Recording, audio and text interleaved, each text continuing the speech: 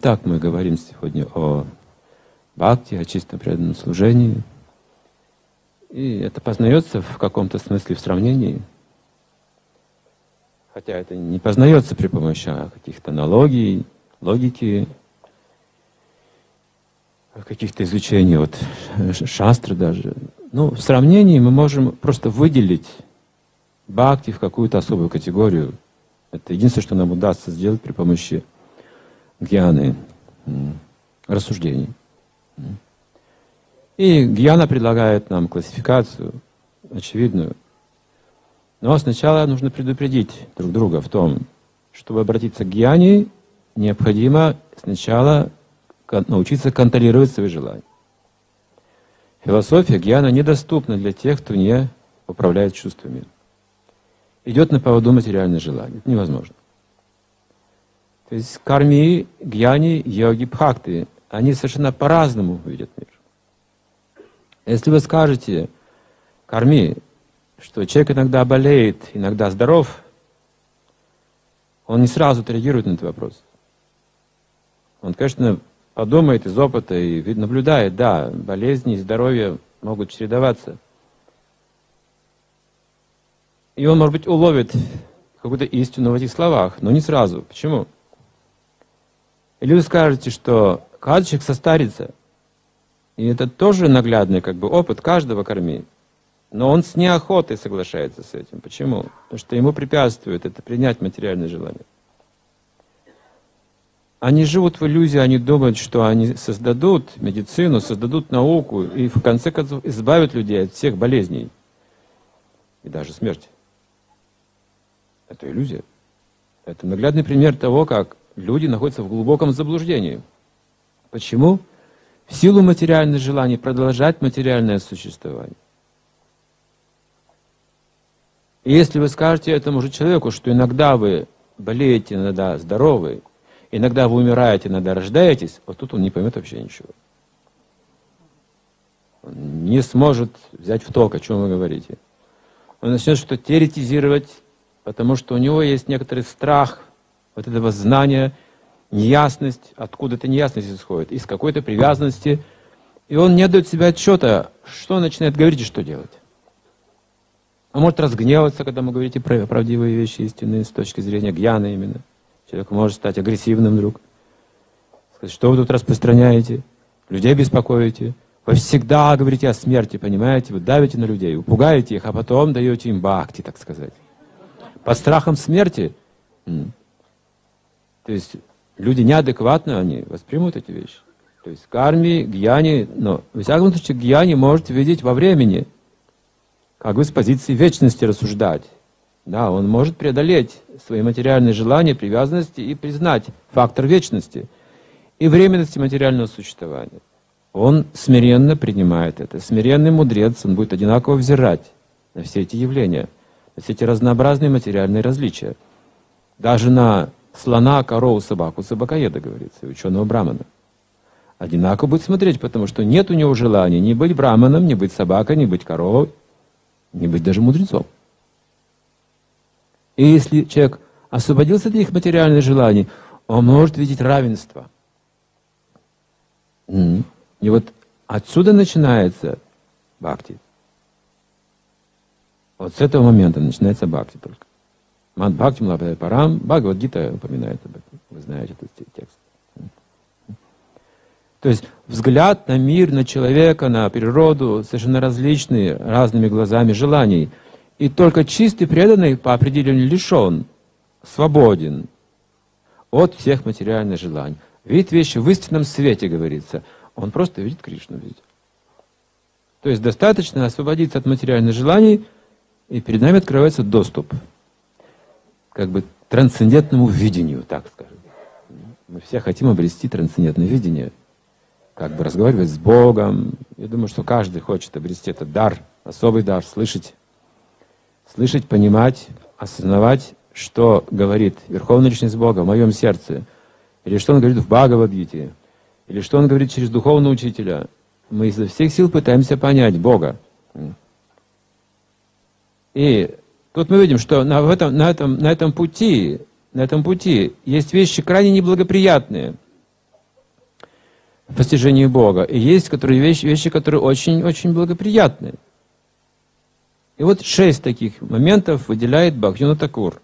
Собственно говоря, это выделяет Саната Нагасвами, он берет это из Пуран, и он говорит, какие шесть вещей благоприятствуют, благоприятствуют именно преданному служению. Шесть вещей.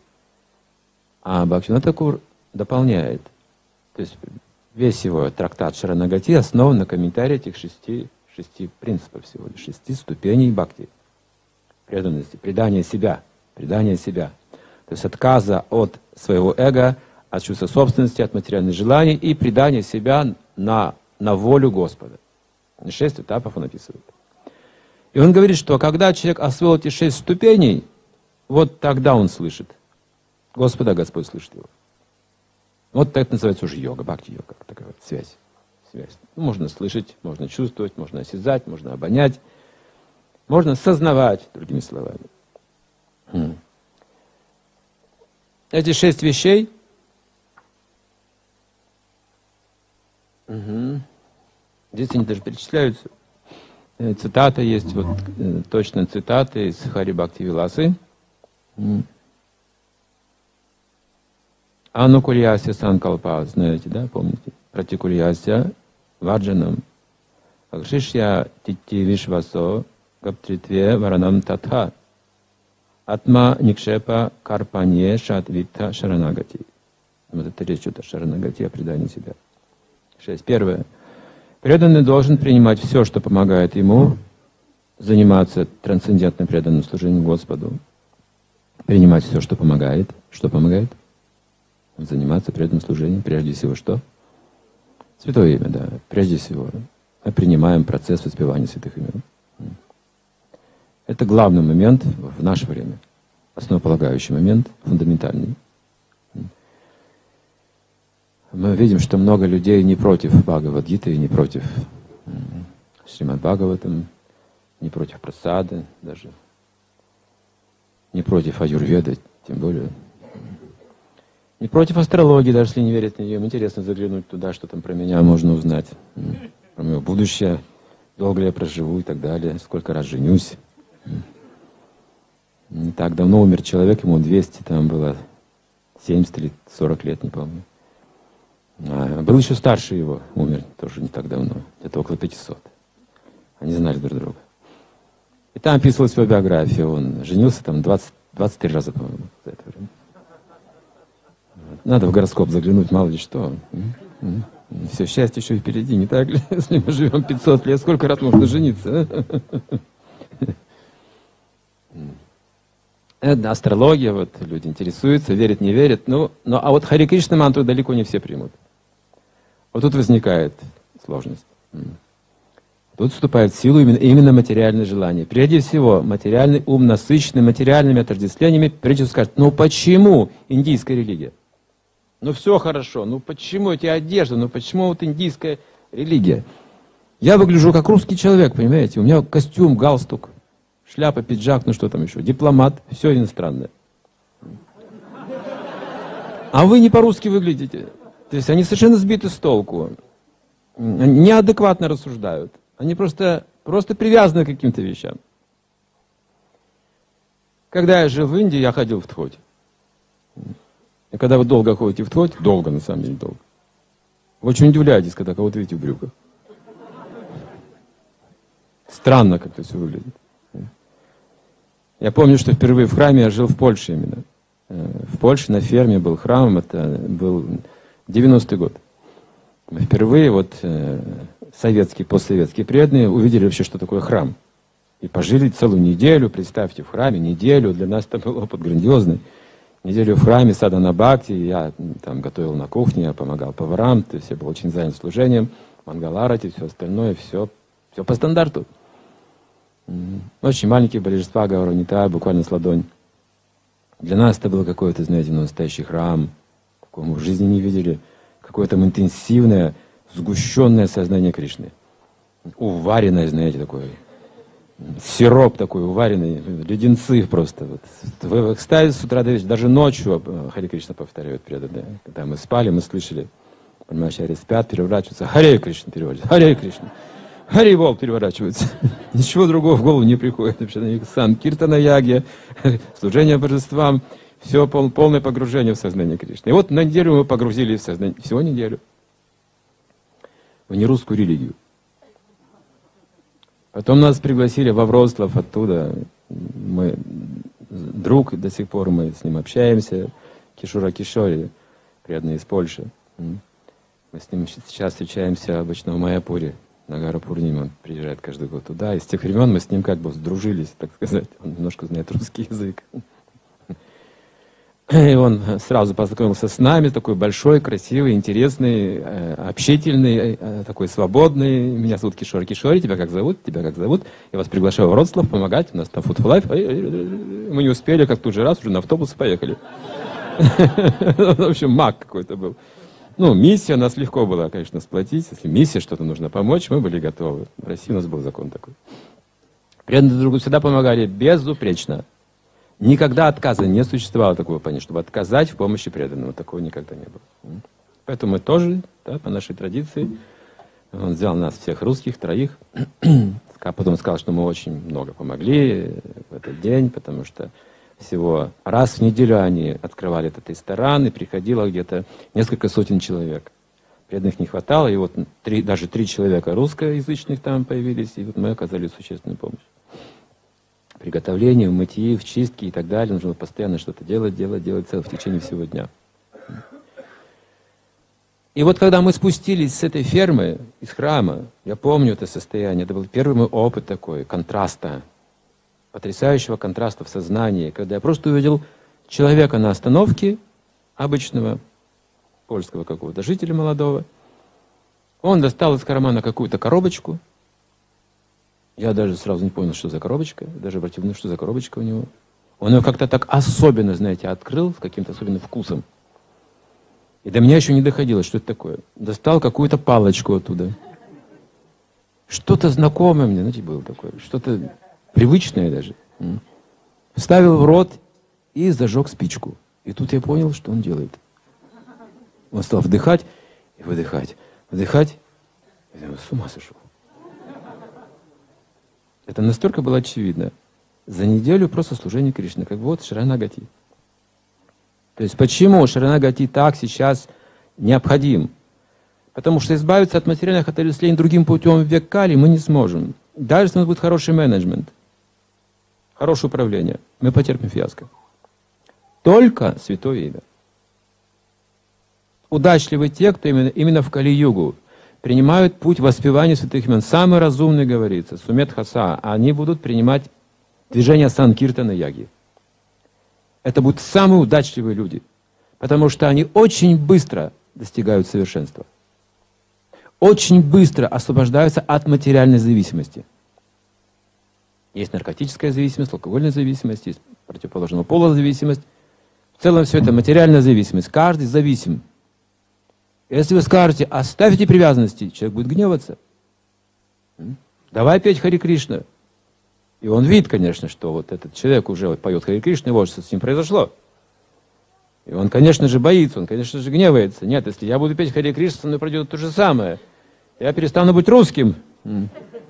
И кто я? Я боюсь, я не знаю других отождествлений. Кем я буду? Никем. Я потеряю себя таким образом. Сейчас я хотя бы русский, понимаете, хоть какой-то новый русский. Хоть пусть я иностранный немножко, немножко с центральным акцентом, но все-таки еще русский. А тут я вообще не буду русским. Стану, может быть, даже индусом. И почему-то не хотят быть индусами. Категорически странная вещь. Французами быть хотят, американцами быть хотят, немцами быть хотят. Я видел, там столько. Не хотят быть индусами.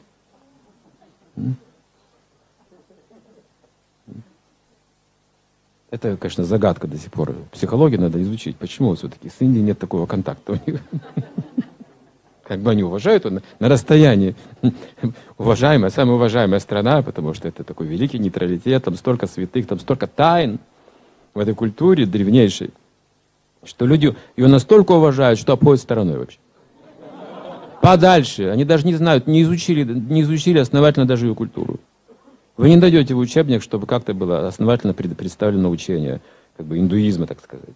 Ну, ничего ясного, ничего конкретного. До сих пор люди в неведении находятся. Поэтому искон для них сложная вещь.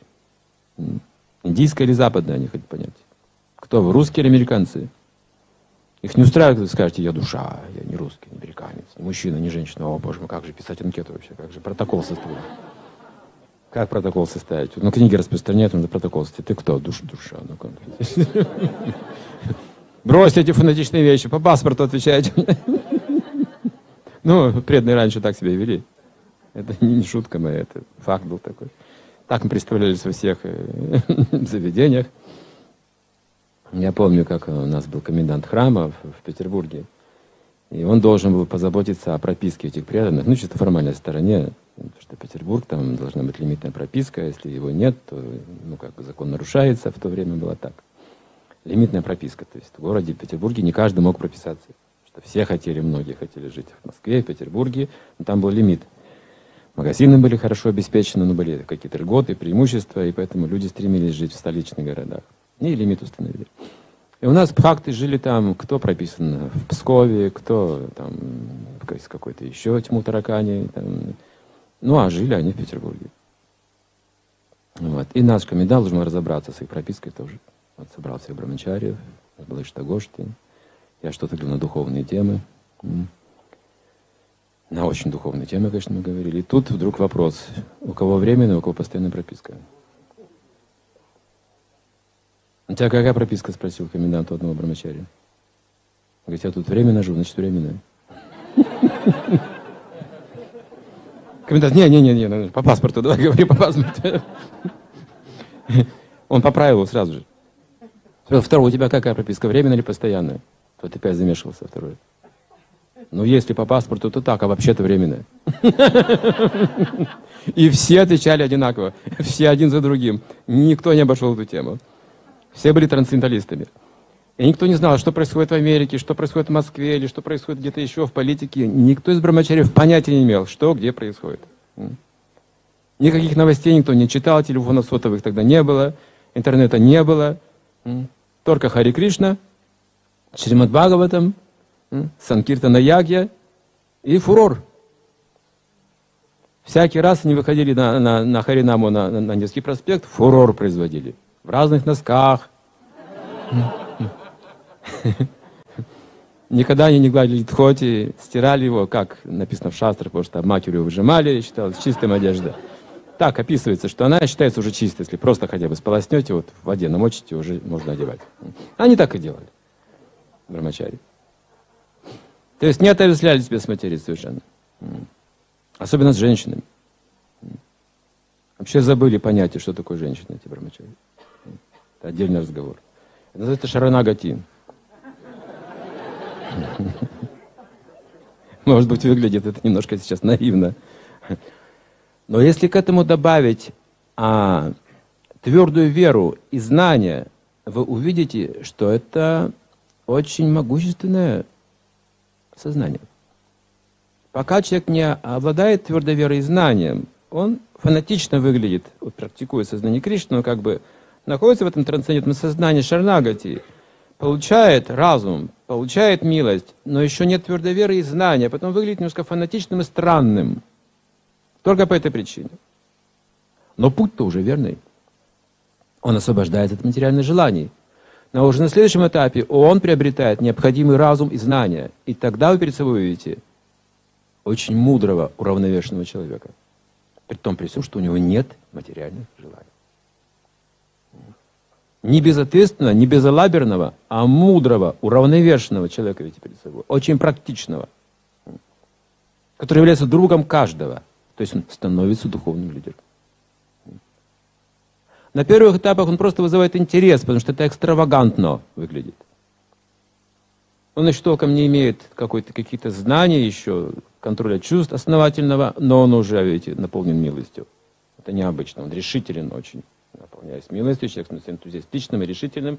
И людей это тоже убеждает, что что-то в этом есть. Что-то есть, но кто-то не может объяснить вашу науку, и тогда такой преданный говорит, ну вот книги почитайте, потому что я еще не могу объяснить всю науку, я только начинаю исследовать. Ну вот можете почитать книги Бхактивиданты сами Шилы Прабхупады. Вот он основательно описывает здесь вот это человек, достигший совершенства, достигший высочайших высот бхакти-йоги, полностью предавшийся душа, лишенный всяких материальных интересов и желаний. Он здесь описывает Бога. Вы увидите Бога на этих страницах, если будете читать эти книги. Обязательно, потому что Прабхупада достиг совершенства Шаранагати. Он может показать вам Кришну. И вы примете его. И да, вы даже забудете из Индии это или откуда-то еще. Но даже вопроса не возникнет об этом. Почему здесь Индия, вы скажете? О чем вы говорите? У вас какие-то материальные представления. Подождите, и так, что за вопрос? Я об этом даже не думаю. Индия? Меня Индия не интересует. Бог один. И люди не смогут вас понять. Даже Господь Читание сказал об этом Раманандараю в Индии, что даже в Индии тебя не смогут понять. Если ты на все будешь отвечать, Рада Кришна, Рада Кришна, Рада Кришна. Но вы увидите Рада Кришну повсюду, благодаря этим шести ступеням совершенства, к совершенству. Итак, Кришна услышит, говорится, преданного. И преданный, третье, должен быть твердо уверен в том, что Кришна защитит его. На самом деле никто другой не сможет защитить его. Иметь твердую уверенность в этом значит верить. Третий момент. Четвертый. Преданный должен принять Кришну как своего высшего покровителя и господина. Кто еще его защитит? Если мы надеемся, что пенсия нас защитит, как-то государство тоже обеспечит чем-то, или близкие люди, родственники защитят меня. В этом тоже что-то есть. Они тоже как представители Кришны, поэтому могут до какой-то степени оказать нам помощь и защиту. Но все равно, говорится, это временные воины, которые защищают нас, пока сами живы. Когда они погибают, они не могут защитить никого. В этом смысле мы говорим, когда человек наполнен материальными желаниями, он говорит, меня родственники защитят, меня дети защитят, меня государство защитит. Когда он освобождается от материального желания, он понимает, да никто же не защитит здесь. Что вы, что вы, что вы. Тут аспект времени работает. Все подчиняются аспекту времени. Только Кришна может защитить, как слога Дженера рассуждал об этом. Используя весь свой багаж преданного служения прошлых жизней, он сделал этот вывод, что это не крокодилья пасть угрожает мне. Нет, это время, он увидел это через пасть крокодила. Он не видит болезни, он не видит старость, он не видит смерть, но воля Бога в этом. Вот что он видит, предавшаяся душа. И зависит только от воли Бога, от воли Всевышнего. Такой человек, предавшийся Кришне, говорится, не подвержен рождению смерти. Кришна обеспечивает личную ему защиту, а это не временный воин. Это наша вечная защита. Как поет Бхактивинод Такур, ты мне и отец, и мать, и опора, и друг, и все ты для меня. Ты для меня все. Все, что я имею, это твое проявление. И все, что у меня есть, твое. И дом, и семья, и мой ум, все твое, все тебе принадлежит. Шаранагати. Говорится, что человек, идущий по пути Шаранагати, немедленно достигает успеха. То есть немедленно, вот прямо сейчас в этой жизни. Иногда в этот же день человек, если он принял эту позицию Шаранагати, он уже осознает Бога. И особенность такого человека в том, что уже ничто другое его не удовлетворит. И поскольку он еще не свободен от двойственности, он только коснулся трансцендентности, он еще будет с отвращением относиться к материальной энергии – это обратная сторона привязанности, вы знаете. Если я долго был привязан к материальному существованию, то первая моя реакция на это будет духовное отвержение, отвращение к материальной энергии. Вот этот период люди называют фанатизмом. Вот тут много глупостей может совершаться, и персонального толка. Но постепенно, постепенно преданный обретет знание, что это энергия Кришны я могу использовать энергию, познать Кришну, только так я могу, потому что познать Кришну непосредственно невозможно. Он не познается. Посредством долга, посредством служения это возможно. Да, если вы используете тело в служении Кришне, вы можете познать Кришну через свою природу. Никак иначе. Увидеть Кришну вот так непосредственно практически невозможно. На это уйдет миллионы жизней, Пропада говорит. Мы сначала видим во вкусе воды, в способностях человеческих, в этих проявлениях божественных в этом материальной природе, начинаем различать их. И постепенно начинаем видеть Кришну и действовать в этой энергии правильным образом. Служение исполнять. Вот так мы сможем видеть Кришну. Поэтому Кришна говорит в Бхагавите Арджуне, ты душа и сражайся. Вот так ты сможешь познать меня. Все великие цари так, прошлого, такие как Джана, как говорится, и другие, они достигли совершенства, познали меня через исполнение долга. Человеческая форма жизни предоставляет нам все эти возможности. Идти путем долга. Когда идет человек путем долга, он тоже считается свободен от материальных желаний. То есть он не то, что хочет делать, а то, что необходимо делает. Этому обучаются со школьной скамьи делать то, что необходимо. Это трудная задача. Но тот, кто предается Кришне, автоматически начинает следовать путем долга. Его собственные желания не вдохновляют его. Не испытывает вдохновения, когда у него есть какое-то материальное желание. Ему вначале говорит наоборот, я испытываю отвращение, когда в уме появляется желание половых наслаждений. И я чувствую отвращение. Что за скверно? Что это такое вообще? Я даже сплевываю иногда. Как это скверно? Входит в меня. Я не пускаю его в сердце, не пускаю его в разум. Отталкиваю это все. То есть эти желания человека не вдохновляют, а настораживают. Как инфекция, это что-то нечистое, не что-то желанное. И наоборот, когда речь идет о том, чтобы что-то сделать для удовольствия Кришны, преданный волноваться начинает. Действительно, я могу что-то сделать для Кришны? Боже мой. Неужели пришло это время?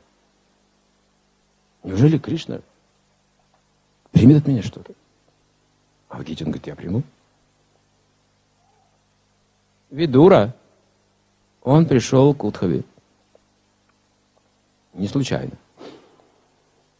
Кришна уже ушел с планеты, все яды ушли с планеты. Все это случилось уже, все ушло. Он выполнил свою миссию, покинул это место пять тысяч лет назад. Событие было, конечно, потрясшее всех. Но Утхави запретил уходить вместе с ними. Утхави ты останешься. Никто не знает науку преданного служения так, как ты. Никто не был так близок со мной, как ты. Никто не был таким доверенным слугой, как ты. Поэтому ты должен остаться и поведать несколько тайн, которые я не поведал никому. Ты останешься здесь, чтобы передать нечто особое. И Удхава должен был остаться в этом мире, даже когда Кришна покинул планету. Видура пришел, Видура, брат Дритараштри. Человек в годах, переживший много, всю ту политику Хастинапура, Курукшетра и все остальное, унижение, оскорбление. Все он это видел. Великий преданный Кришны. Он пришел к Удхаве и стал задавать ему вопросы. А Кришне? А Удхва молод.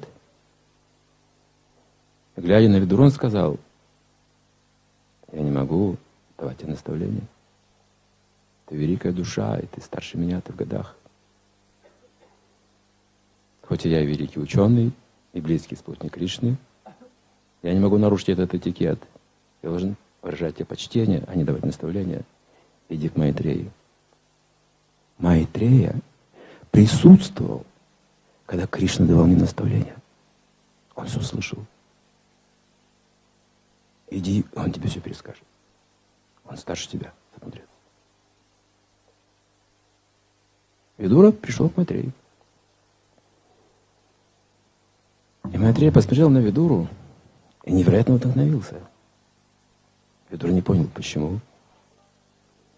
Он стал рассказывать, как вместе с Удхой ему удалось прийти к Кришне и увидеть его. Он рассказал, как он сидел под баняновым деревом, как выглядел.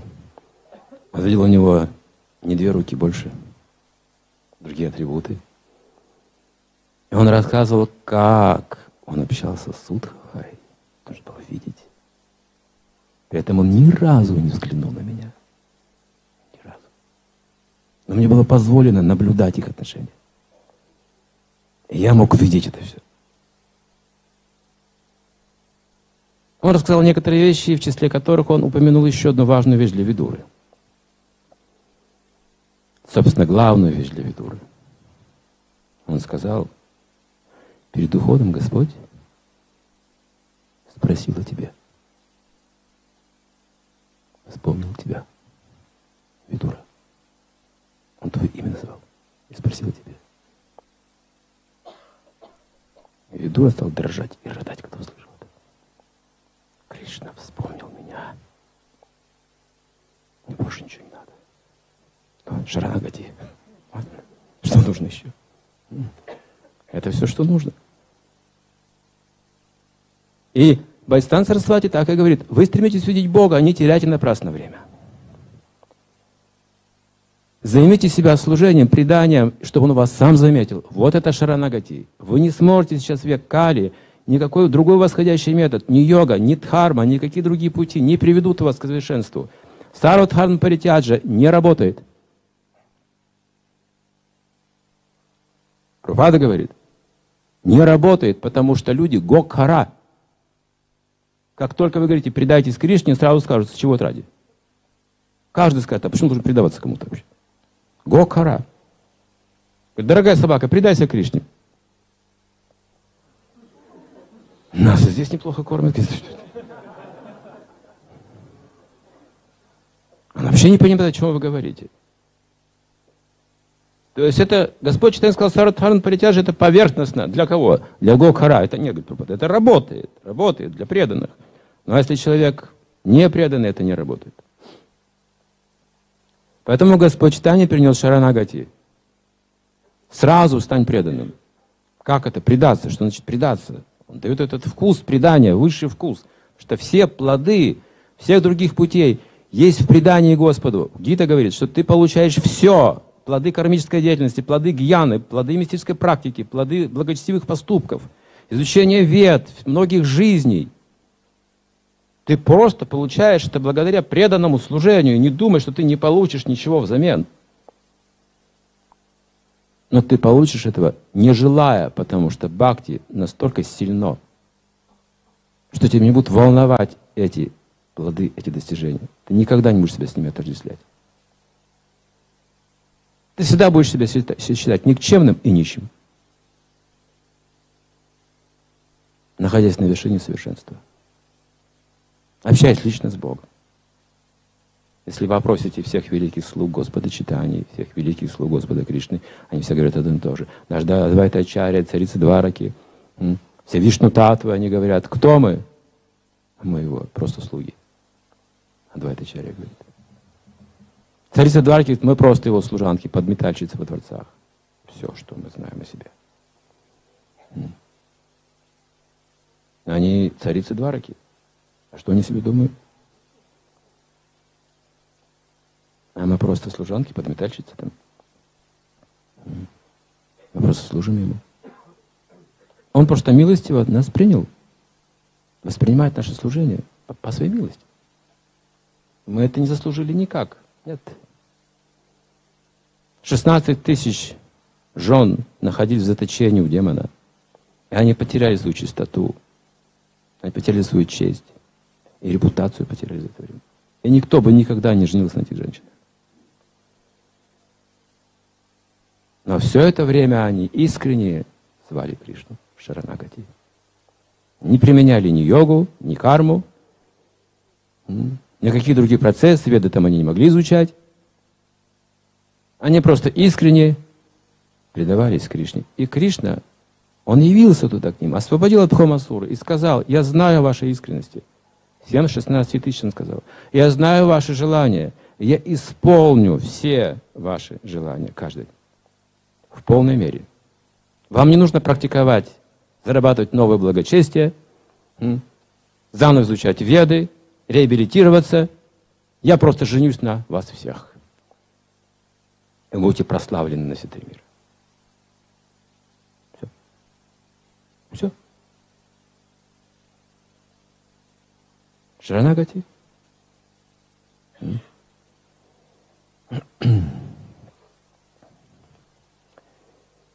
Это четвертый момент. Преданный должен принять Кришну как своего высшего покровителя и господина. Пятое. Предание себя означает пометование о том, что в своей деятельности и желаниях человек отказывается от независимости. Преданный ставит себя в полную зависимость от Кришны. Он действует и думает, как Кришна того желает. характерная черта обусловленной души, что она независимой хочет быть. Это значит обусловленная душа, так она называется. Она мнит себя независимой. Думает так. Она придумывает какие-то названия, отождествления, с ними себя отождествляет, и вот так вот в грезах думает, что она свободна и независима. Это обусловленная душа, находящаяся в мае, в иллюзии. Преданный идет путем шаранагати. Он отказывается от своей независимости. Нет у меня никакой независимости. Я завишу от тебя, Кришна. Происходит метаморфоза. Он становится абсолютно свободным. В своих желаниях, действиях, как Папа сказал, если вы предаетесь Кришне, любите Кришну, делайте, что хотите. Происходит метаморфоза. Странное превращение.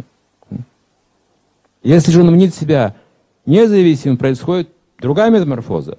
Он все более и более погружается в страдания. Различные формы зависимости. Как вы можете сказать, что я независим от законов государства? Вас накажут законы государства за это. Наоборот, теряете свободу. Чем больше вы так думаете, тем более так действуете, будете страдать больше и больше от преследований закона и наказаний. Но как только вы признаете закон, вы считаете свободным гражданином. Вы делаете, что хотите. Потому что вы не нарушаете закона, вы принимаете закон.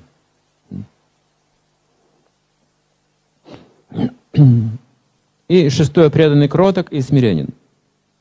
Это шестой пункт. Бхактивинод Такур ставит его на первое место вообще. С этого начинается. Со смирения и кротости. Смирение и кротость означает, что человек понимает, что в материальной жизни его ожидает крах.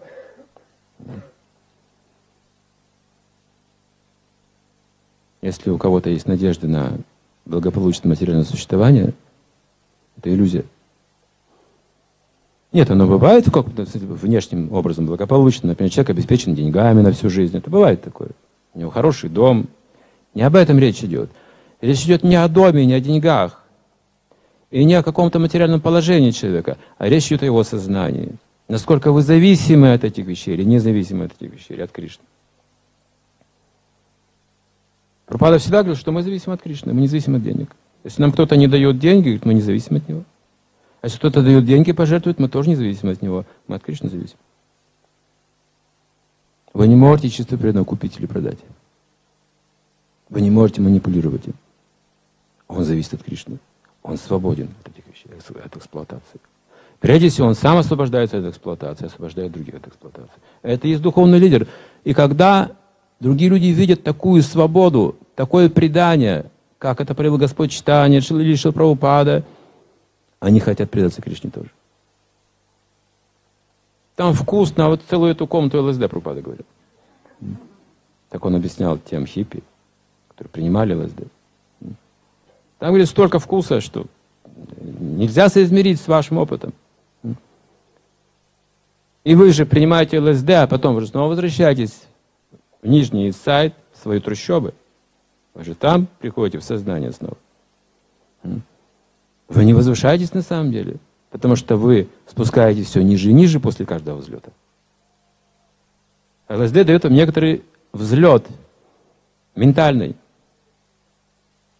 яркий ментальный взлет, но потом вы спускаетесь ниже, чем были раньше, а потом еще ниже, чем раньше. А потом они даже перестали понимать значение слов. Уже такие люди были, когда Пропада приехал в Нижний Нью-Йорк и давал лекции по Бхагавадгите. Они сидели и пытались, пытались, но они не слышали, не, они не могли, значение слов у них все перемешивалось, все переплеталось. С какими-то галлюцинациями. Они элементарные слова стали забывать, что это означает вообще. Они могли улыбаться без причины, глядя на Свамиджи. Или закричать какой момент «Я Бог!» истерично. Пропада продолжал он проповедовать, воспевать киртан. Киртан они чувствовали.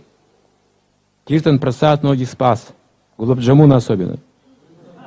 Пропада делал Гулабджамуна, он видел, как это привлекает. Он делал целые такие чаны Гулабджамунов. И закон установили такой, что любой может без, без спроса, без разрешения в любое время суток брать оттуда Гулабджамуна. Вот эти Гулабджамуны спасли многих, кто хотел даже уходить из сознания Кришны. Один преданный собрался уходить, посмотрел на Гулабджамун и сказал, ну, последний раз попробую, и все. Перед уходом. И так, так и сел, и задумался, и, и забыл, что собирался уходить. Такая мистическая практика. Вы встречали такие методы ранее? Возвышенные? Что просто при помощи поедания гулабджимунов достичь совершенства можно. Ну вот можно, оказывается. Если это шаранагати. Потому что тут милость может проявиться через что угодно, через гулабджамун может полностью проявиться милость. Кришна всемогущий. В данном случае просад сейчас держит у нас львиную долю нашего движения. Я интересовался в Омске, говорит, что в храм приходит э, на просад больше всего, больше, чем на лекции, даже на киртан. Приходят преданные, но больше всего, самое массовое посещение именно во время просада. Это наблюдаю во всех ятах, не только в Омске. На лекции, конечно, приходят преданные, конечно, молодцы. На киртан тоже как-то подтянутся, да, поучаствуют некоторые. Но на просаде вы даже найдете того, кого раньше не видели в жизни вообще. Это стопроцентное предание, от неведанным.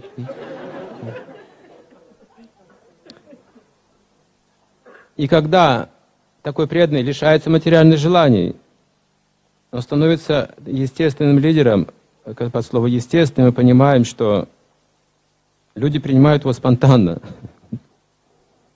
Есть два лидера, есть назначенный человек, и есть вот духовный лидер. И мы говорим о духовном лидерстве на этом, как бы, на этой, в этой школе. Конечно, мы сочетаем и путь долга менеджмент, но и духовное лидерство должно быть отрегулировано правильно, что менеджмент должен служить духовному лидерству, не наоборот. Часто мы видим, что ситуация как бы переворачивается, что именно менеджменту начинают служить духовные люди. Это не очень правильно. И здесь дело не в том, чтобы духовные люди стали подчинять менеджеров, стать, становиться менеджерами, не в этом дело, а в том, чтобы научиться нам, менеджерам в сознании Кришны, быть чувствительными к преданным защищают. Но кого защищает? Прежде всего святых общества защищает. Потому что от этого прежде всего зависит благополучие общества. И вот эта чувствительность менеджера делает его кшатрием. Его развитое тонкое сознание может различать садху, понимать садху, чувствовать их. И с, с этим он издает законы и правила определенные. Чтобы садху были удовлетворены прежде всего в обществе. Бескорыстные, чистые, преданные должны быть удовлетворены. И тогда это, это благословение, оно распространится на всех других. Это касается не только нашего общества, искон, это касается любого общества. Российского, американского, австралийского, европейского. Задача, прежде всего, руководителей любого общества – защитить садху. Конечно, они могут спросить, но у нас вообще нет садху. Вы ошибаетесь. Дело в том, что вы сейчас не изучаете этот предмет. Не ошибайтесь так жестоко. Садху есть. И если вы совершите оскорбление даже невольно садху, страна будет сострадать. Исторические примеры посмотрите. Если у вас не останется, вы не будете поддерживать ни одного святого, и они не смогут влиять своей вот благостью, люди деградируют у вас на глазах, ваши дети, ваши потомки, на ваших же глазах деградируют. В животных превратятся. Это огромный риск. Поэтому прежде всего изучите, исследуйте эту тему. Не только в сознании Кришны, изучите все священные писания. Да, если вы управляете обществом, изучайте священные писания, находите признаки, кто такие садху, выясните это все и почувствуйте это. Это не атеисты должны делать, и не пристрастные религиозные люди, а ученые беспристрастного толка, которые хотят просто познать истину, природу людей. Это не религиозный вопрос и не политический вопрос. Это исключительно научный вопрос. Потому что у садху есть духовная природа проявленная, которая не проявлена у материалистичных людей. Ее нужно тоже изучить, потому что такие факты есть, и они живут. И им нужно дать защиту, и им нужно давать слово, чтобы люди могли слышать и видеть их. Они были доступны для общения. Вот в чем заключается управление. А не то, что менеджер приходит вперед, и мы забываем о уже нечувствительных садху. Я уже сам садху. Царь верно так и думал. Вы поклоняетесь Богу, глупцы. Я здесь представитель Бога, читайте шастры. Царь вмещает в себя все, все, в его теле все полубоги, Верховный Господь там пребывает. Я вас кормлю, а вы поклоняетесь кому-то другому. Наивные, неразумные дети – глупые. Вы достойны все наказания, сказал Браманам это. Браманы прокляли его в той, в той истории. Иногда про Россию говорят, не только про Россию, я слышал, говорят, что отвернулся Бог от нее. В этом что-то есть. Не думаю, что от всей России, но что-то есть, какие-то оскорбления были совершены, я думаю, во времена насилия, этих вот гражданских войн, всевозможных репрессий что в этой, на этой волне могли навредить многим чистым людям. И последствия, конечно, будут очень тяжелые, вы видите. Мы прожили с вами почти целый век в безбожии, во тьме. А сейчас кто-то скажет, недоволен, что вы не православны. Вот как это ко мне, скажем, применить, к моей биографии?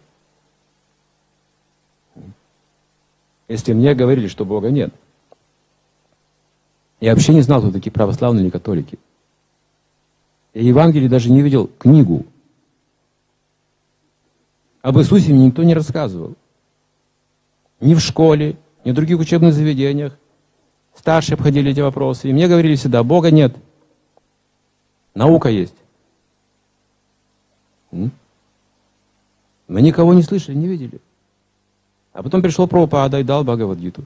И я узнал, есть все это. И узнал и про Иисуса позже. Пророка Мухаммеда узнал. Много что узнал. И в Индии ездил столько часто, так часто в Индию посещаю. Тоже много там узнаю, с каждым разом больше и больше. И теперь кто-то мне скажет, а почему ты не православный? Ну, вот поймите, с точки зрения моей биографии, допустим. В чем я виноват?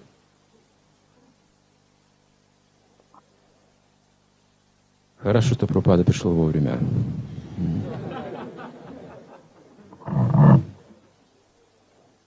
Это относится также к коммунистам. Те, кто был коммунистами, им тоже сейчас скажут, почему не православные. Да мы были атеистами, простите. От нас требовалось это. Мы должны были быть не просто атеистами, воинствующими атеистами. Поймите, мы диктатуру устраивали. Это, это был долг перед партией, перед народом. Все знали, что религия топиум для народа. А сейчас что вы хотите от меня? Сейчас что-то изменилось? Почему такие стали религиозные? Вопрос в этом. Вы стали садху, или вы с точки зрения кармы на это смотрите, или гьяны? С какой точки зрения вы предлагаете нам религию? Выгода за этим стоит какая-то?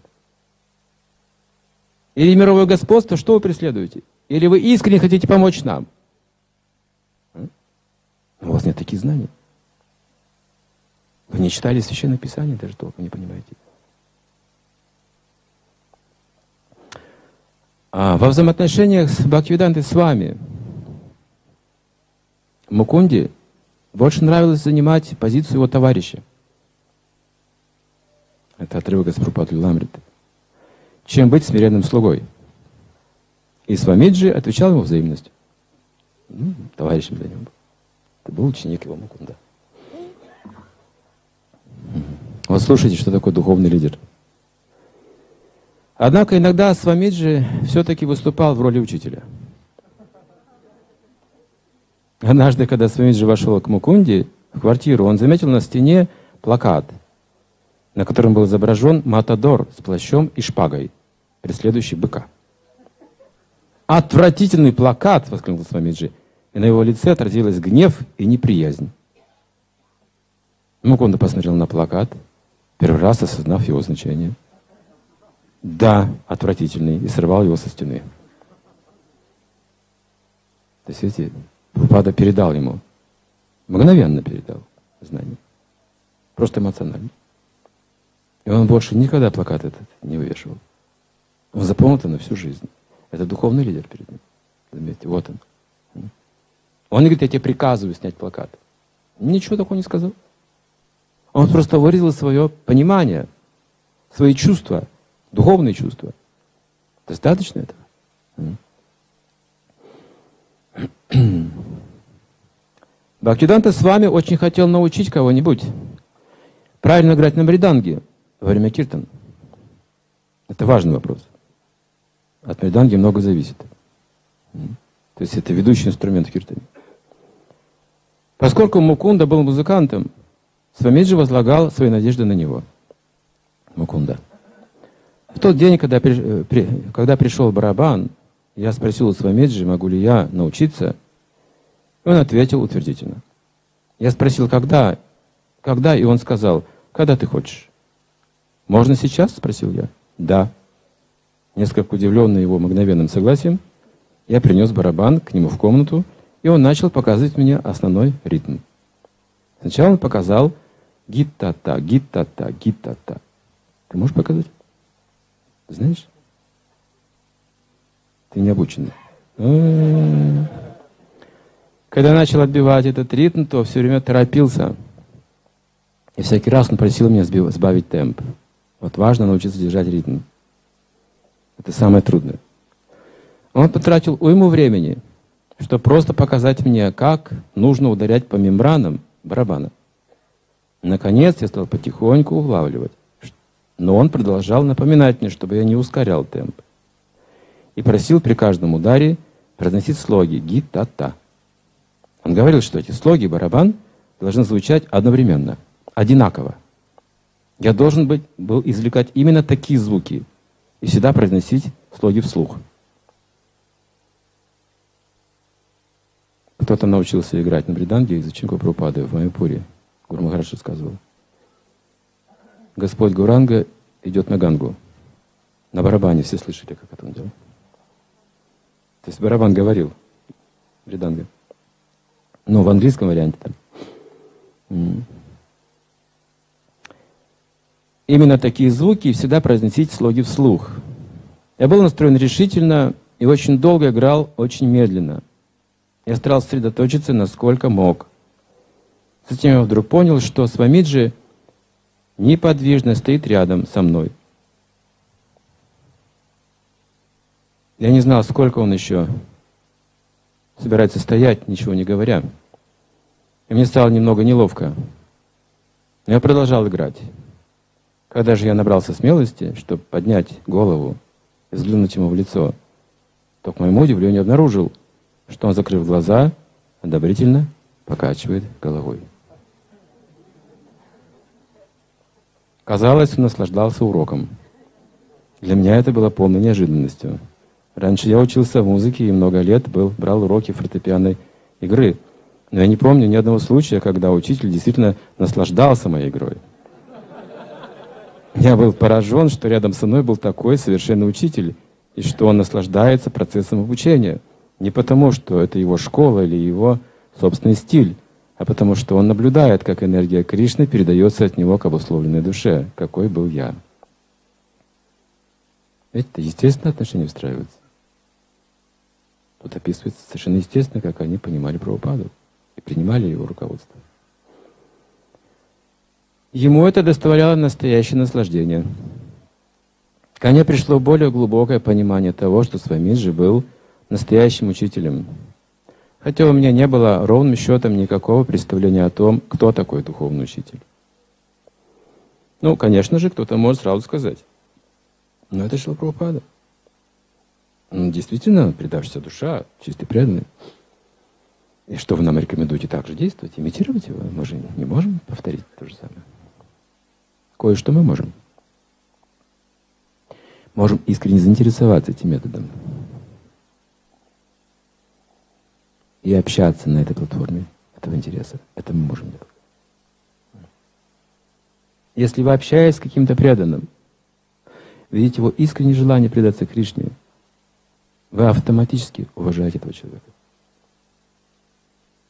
Вы автоматически уважаете этого человека. Но если вы только и слышите критику от кого-то, и он вечно чем-то недоволен, указывая недостатки других, вечно говорит только о своих обидах, о своих проблемах, это не шаранагати, это проблема. Он, его обуревают материальные желания. Тогда спросите, а что делать? Может быть, у нас таких преданных большинство сейчас где-то. С материальными желаниями. Да, но если они искренние, потому что это прямо предписанием, такие преданные, которых обуревают материальные желания, у них ментальные трудности, и в жизни много проблем. Они должны много трудиться для Кришны. Постепенно ум успокоится. Трудиться для Кришны. Да. Работать для Кришны нужно. Делать хорошие полезные вещи. И делать год за годом, пока ум не, не умиротворится, на самом деле, как трудотерапия называется. Пока мы не придем в себя, в какой-то позитивный тонус. Пока, наконец, мы не улыбнемся жизни, не улыбнемся солнцу, Кришне, преданным, просто потому, что они преданные. Просто потому, что этот факт существует. Проходит два-три десятка лет, прежде чем некоторые преданные понимают, как важно всем преданным, всем собираться и воспевать, кто бы они ни были, всем. Как это оказывается важно? Это самое важное, всем вместе собираться и всем воспевать. Кем бы кто ни был. И воспевать в экстазе, и звать Кришну. И автоматически Кришна будет поддерживать наши отношения, наше уважение, нашу любовь наше доверие. Шаранагати Кришна вознаграждает большой семьей. Такую защиту нам дает. Если мы просто служить, посвящаем воспеванию Святого имени, распространению славы Святого имени, достаточно этого. Но вопрос именно посвящения. Итак, Шапрупада, один из таких великих посвященных, приезжает на Запад, где никто не посвящен. И люди начинают понять все больше и больше. Нужен духовный учитель, нужен духовный учитель, нужно посвящение. Мы погибнем, если не будет посвящения. Нужны духовные знания, нужна духовная любовь, нужны отношения. Они обозначения. Мы уже устали от обозначений. То такие, то другие, то красные, то белые, то русские, то новые русские, то еще что-нибудь. Чем больше вы живете, тем больше вы понимаете, что все это суета-сует. Где же истина? Здесь описывается, истина, она уже есть. Если мы идем путем предания, истина сама проявляется. Шаранагати означает, что мы не ищем истину, она сама проявляется. Мы веряем свою жизнь истине, и она проявляется проявляется в полной степени. В большей степени, чем можно даже себе представить. Но что такое материальное желание? Чего они стоят? В сравнении с тем, что человек получает на духовном уровне. Да вы смеяться будете. Друг Махарадж смеялся над тем, что он просил. А просил он царство большего, чем Брамалока. По-детски даже не понимая, чего он просит. Что нет большего высшего царства в материальном мире, чем Брамалока. Не существует таких богатств больше нигде. Ни таких знаний. Брамалока – высшая планета в этой вселенной. Обитель Брама. А он говорил, как ребенок, из амбиций и обиды, что хочу, вот, дорогой Господь, большего царства, чем Брамалока. Господь явился и спросил Друва, говори, что хочешь. Тут Друва осекся и сказал – то, что я просил, ничего не стоит. Сейчас я вижу тебя, и этого достаточно. Ничего не надо. Он испугался, если я сейчас что-то получу материальное, это же будет препятствием в отношениях. Господь покинет меня, отдаст и уйдет. Ничего не надо, он сказал. Он очень испугался, что сейчас Господь покинет его. Зачем же мне это царство без Господа? Господь был очень доволен другой. И сказал, ну раз просил, получишь. Но ты будешь служить всю жизнь мне. И друг был очень счастлив слышать это. Это был не приказ. Это были отношения. Это были те самые желанные отношения сердца, которые друг имел и даже не знал об этом. Счастью не было предела другу Махараджа. И получил то и другое.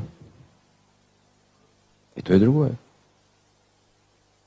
Если Господь что-то отнимает, это означает, что это что-то лишнее, что-то мешающее, что-то вредоносное. Вот эти все привязанности он отберет. Лишние, вредоносные, эгоистичные. Хари, он говорит, вор, он украдет все эти грехи наши, все эти греховные желания порочные.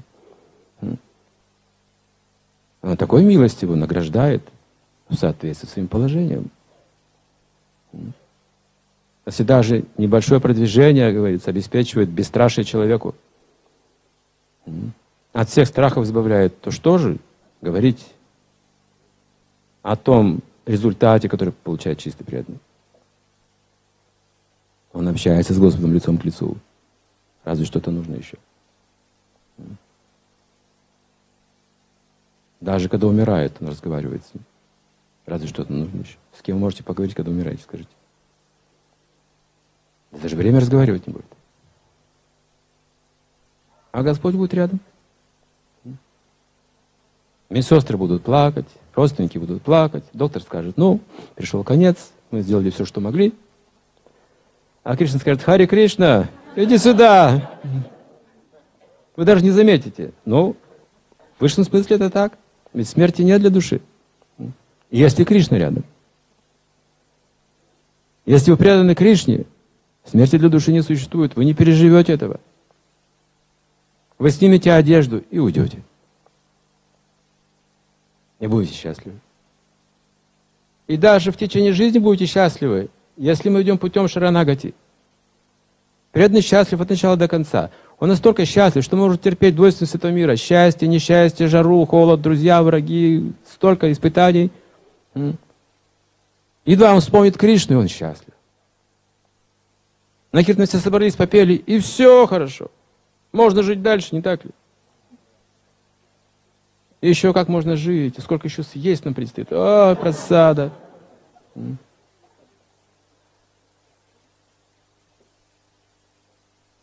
Поэтому иногда думать о личной жизни. Иногда. Чуть-чуть. Какие-то минуты, знаете, такие. Так вот. Когда никого нет, можете поплакать. Как же я живу все-таки? Ни кола, ни двора. Ни мужа, ни детей, ни жены, ни родственников, ни денег. Ну, с утра уже до Мангала идти снова танцевать. Чуть-чуть можете поплакать. Чуть-чуть. Можете даже молитву написать Кришне. Кришна, когда это кончится? какая-то сторона жизни мне просто ну, ну так надоело. Так-то все хорошо, конечно. Я пою, танцую, ем просад, и меня преданные, у меня то, у меня все. Да вообще все хорошо, не знаете, что я жалуюсь? Да? Если вы взвесите все эти вещи, вы скажете, на что жаловаться? Стыдно уже вообще жаловаться. Уж столько всего. Другой вопрос, насколько мы это ценим, насколько мы это принимаем, насколько мы осознаем милость Кришны. Вот с этим мы должны работать. Должны научиться сознанию Кришны. Счастье – это наша природа. Шаранагати – это высшее блаженство, это высшее счастье. Здесь описываются шесть этих ступеней, которые можно изучать. Это песни Бхактина Такура, они описывают эти шесть ступеней. Шаранагати – это его молитвы. Чистый, из чистого сердца исходит, чистого преданного Бхактина Такура. Можно изучать их, смысл их, спевать можно, можно медитировать на это. И то есть преданный будет счастлив именно в служении Кришне. Какие будут вопросы сегодня, пожалуйста?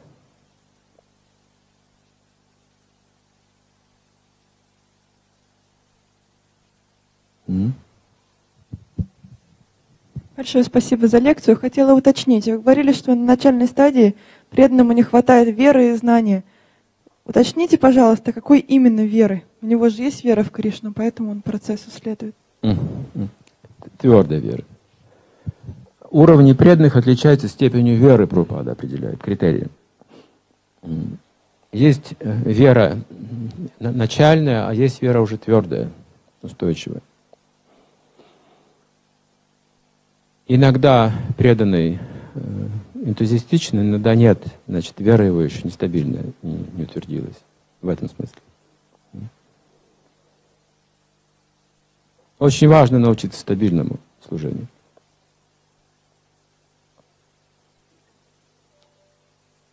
Бывает, что ситуация в обществе вокруг, вокруг каждого из нас становится экстремальной, угрожающей. Вы так чувствуете? Я не говорю только о политической ситуации, любой ситуации. Может быть, вы в аварию попадаете где-то, случается. Может быть, болезнь какая-то приближается к вам, опасная, или кажется так. Может, вам грозит разрушение семьи, вы чувствуете. Это все тяжелые события. Вот в эти моменты вы должны продолжать служить Кришне еще более интенсивно. Научиться этому.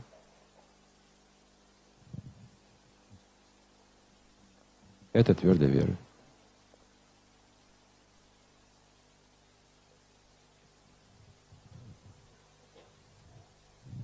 Угу. Да, пожалуйста.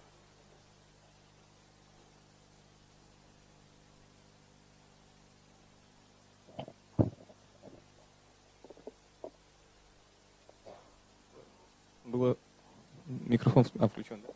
Было сказано, что духовный лидер, он свободен от материальных желаний, и также сказано, что вот идущий путем исполнения долга, он уже, он уже считается как бы свободным от материальных желаний. У меня такой вопрос в связи с этим. А, когда там вот, внешне исполняешь свой долг в обществе преданных или на работе, или в семье, да, добросовестно, э, все равно иногда ловишься на мысли, что какой-то, ну, может быть, тонкое наслаждение, что ли, вот там ловишь, или как вот, как сказать и иногда не понимаешь, какой у тебя мотив внутренний. То ли ты делаешь из наслаждения из тонкого, то ли ты все-таки из э, мотива бескорыстного служения. Но ну, наслаждение сопутствует исполнению долга. Человек может наслаждаться своей природой. Естественно. Например, вы не можете избежать наслаждения во время приема просада. Постарайтесь, не получится ничего. Все равно вкус почувствуете как-то, и это повлияет на вас. Можете закрыть ну, там, обмотать изолентой язык, там, не знаю, что-нибудь. Но все равно вы что-то почувствуете. Насыщение, в всяком случае, почувствуете. Неизбежно. Если вы поете перед божествами время арати, то почувствуйте запах благовоний, почувствуйте наслаждение тоже. Радость, воспевание, все это есть. Что важно в этом моменте? Лидер. Лидер, он может иметь материальное желание. Каждый из нас имеет какие-то материальные желания и материальную природу. Но в отношениях с преданными вы не должны преследовать материальные желания, цели. Вот это имеется в виду. Этому нужно научиться. Мы должны иметь хороший опыт преданных, что Кришна это все сразу заметит. В тот же миг, как только мы начинаем подменять вот эти истину в своем сердце, Кришна сразу же заметит это. Сверхдуша сразу заметит это. Если вы думаете, что человек просто не догадывается об этом, он еще неопытный, не понимает, он видит меня как преданного, и можете вот этот момент опасный, можете злоупотребить своим положением, вы должны знать, что Кришна в вашем сердце сразу заметит это, и тот же самый Параматма и в его сердце, в конце концов, тоже заметит это.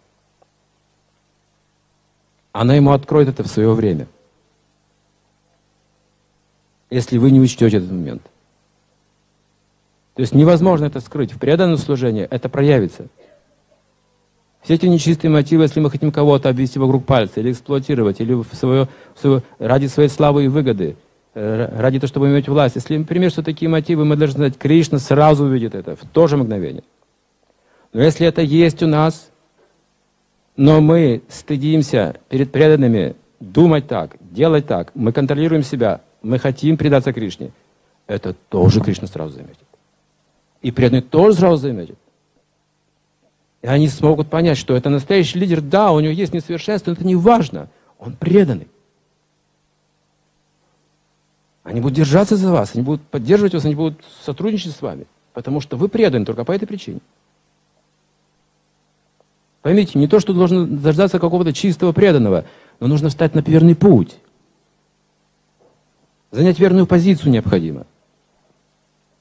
И Кришна поддерживает, поймите, не просто какое-то собрание людей поддерживает нас, или группа людей какая-то, на, преданным нам поддерживает нас, а другого уже другая группа поддерживает. Кришна всех поддерживает.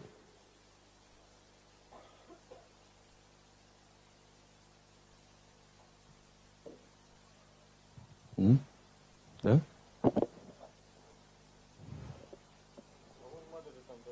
У кого микрофон был? Ну тогда говорите, у кого микрофон? Хари Кришна, Гуру Махарадж. Они работают? Хари Кришна. Вы вчера рассказали на лекции удивительную историю про юношу, про слугу, который вам в Индии служил. Поясните, пожалуйста, в чем заключается практическое служение лидера? То есть в чем практически лидер-слуга? Прежде всего, э, лидер должен быть внимательным к людям, развивать внимательность, сверхвнимательным. Это, собственно, и делает его лидером. Если лидер не понимает своих подчиненных или подопечных, он не сможет быть в полном смысле лидером. Это формальный лидер. Может формально все правильно говорить, давать какую-то информацию, занимать служением, административно нести ответственность, он может выполнять функции. Но именно стать духовным лидером для того, чтобы нужно быть очень внимательным. Вот мы вчера, например, привели, что тот мальчик, это было удивительно, откуда такая, такой разум вообще в таком возрасте. Я не встречал, вот в моем опыте здесь, я не встречал людей в таком возрасте таких внимательных, таких разумных. Если даже я что-то забуду, он уже знает об этом, что я вот что-то забыл. Он настолько был настроен. Я не знаю, как ему удавалось. Это просто другая культура. Я понимаю, что, может быть, мы не можем конкурировать с Индией в этом вопросе. Что они более внимательные люди по, своей природе, многие. Как писал какой-то человек, помню, он в те еще годы, когда я был не в сознании Кришны, я изуч... тоже что-то читал об Индии, и кто-то писал об Индии, я с интересом читал, что настолько чувствительные люди в Индии, настолько внимательные, что если вы даже в спину кому-то глядите, он оборачивается и смотрит на вас. Я на себе это испытал в Вриндаване. В нескольких историях, когда я в трудное положение, мне индусы помогали, сразу понимали, что мне нужно. В поездах, в других местах то же самое. Мы сели однажды не в свой вагон, просто не могли понять, где же наш вагон вообще. Мы вот вроде номер тот, ну, там какая-то хитрость была чисто индийская. Загрузились, уже едем, это не наши места. И человек сидит на своем месте, смотрит на нас, а мы собираемся занять его место. И мы на него смотрим как волки, конечно же, мы по-русски смотрим на него, а он по-индийски смотрит на нас, что у нас какая-то проблема, нужно помочь. Как только это почувствовал, я сразу успокоился. Думаю, что тут я прав вообще хочу. Нужно по-человечески общаться. Да, мы устали, мы то, мы все, мы тут запутались, но он тут, тут при чем? Он, он подвинулся, сказал, пока, говорит, посидите, сейчас я попробую помочь. Мы сели на его место, он взял телефон, куда-то стал звонить нашел наш вагон каким-то образом, я не знаю, как это. И показал, куда нужно идти, все, и помог. Это Индия. Не вся Индия, я не идеализирую Индию. Но просто говорю, тема такова, что мы говорим, лидер, прежде всего это внимание. Пока вы не понимаете человека, вы в полном смысле не можете быть для него лидером. Не торопитесь с этим. Я лидер. Подождите, подождите. Вы должны изучить. Должны почувствовать. Должны понять. Потом вы можете вступать в эту роль больше. Потом еще больше.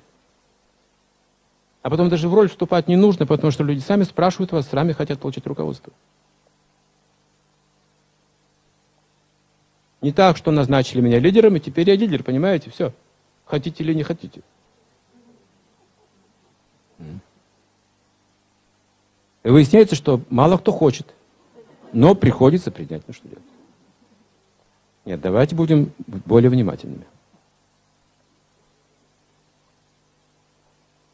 Если младший злоупотребляет вниманием лидера, Кришна тоже об этом узнает. Сразу же. Там тоже есть свои нюансы в этом плане. Тоже нужна квалификация. Поэтому, конечно же, все, для всех нас важно. Мы говорим сейчас на школе лидеров. Если мы вообще себя отождествляем с этим понятием лидера или хотим научиться духовному лидерству, это нужно научиться. Мы должны начать с того, что мы должны быть внимательны.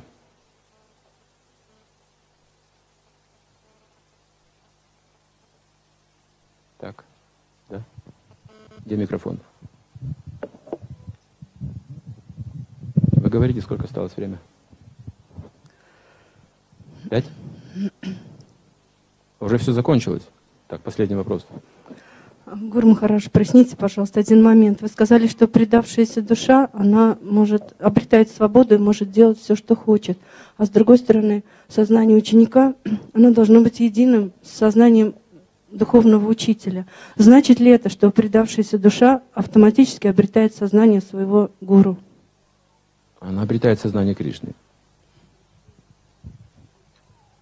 Гуру туда направляет ученика. Ему не нужна марионетка. Ему нужно, чтобы ученик стал преданным Кришне. Чтобы он предался святому имени. Он выполняет роль представителя Бога в форме служения. Форме служения, как слуга. И ученик наследует это служение от гуру. Поскольку гуру служит, ученик тоже служит. Кому? Кришне. Через всю Гуру Парампару мы должны помнить, что мы служим Кришне. Имена Кришны воспеваем. Делаем это все для Кришны. Все, и тогда Гуру счастлив. Шила Прабхупада Ки.